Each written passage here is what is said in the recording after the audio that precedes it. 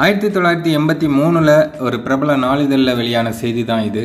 அதாவது அந்த டைமில் எந்த நடிகர்கள் அதிகமாக சம்பளம் வாங்கினாங்க அப்படிங்கிற பட்டியலை அவங்க வெளியிட்டிருந்தாங்க.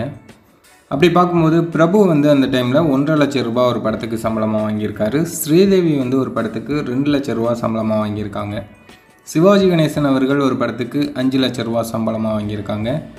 கமல்ஹாசன் அவர்களும் ஒரு படத்துக்கு அஞ்சு லட்ச ரூபா சம்பளமாக வாங்கியிருக்காங்க.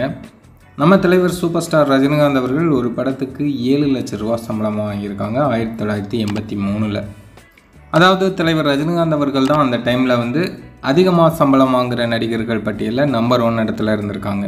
அந்த டைமில் மட்டும் இல்லை இப்போ வரையும் தலைவர் ரஜினிகாந்த் அவர்கள் தான் அதிகமாக சம்பளம் வாங்கும் நடிகராக இருக்காங்க. தலைவர் நடிக்க வரும்போது கமல்ஹாசன்லாம் பீக்கில் இருந்தார் பட் அவரை எல்லாம் ஓவர்டேக் பண்ணி தலைவர் வந்து ஒரு சில வருடங்கள்லேயே நம்பர் ஒன் இடத்துக்கு வந்துட்டாங்க. அன்னைக்கு தலைவருக்கு வந்து அந்த நம்பர் ஒன் பொசிஷன் அப்படிங்கிறது இன்று வரையும் போகலை. இன்று மட்டுமல்ல என்றுமே தலைவர் மட்டும்தான் நம்பர் ஒன்னாக இருப்பார்.